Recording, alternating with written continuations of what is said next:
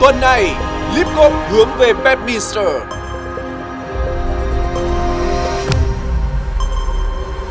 Sân đấu tràn đầy ánh hào quang của Henrik Stenson. Và của cả team Fireballs. Cú nước rút ngoạn mục của Carlos Ortiz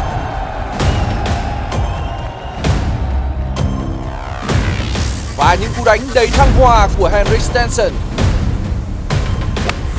Liệu có được tái hiện tại sân đấu Trump National? Hay Bedminster sẽ trao vương cho ngôi sao khác? League Cup Bedminster, đỉnh cao tranh đấu.